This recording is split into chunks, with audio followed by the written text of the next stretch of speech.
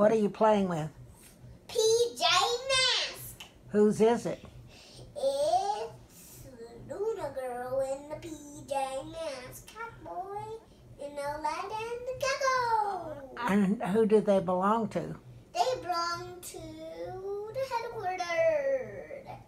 And and whose toys are they? They're the PJ Mask. And where did you get them? I got them brushing. Did somebody bring them? Yes.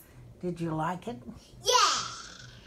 Did you get all the toys you wanted? Yeah. And you're happy? Yeah. yeah. Can you say thank you? Thank you. And I'm taking care of them. Good.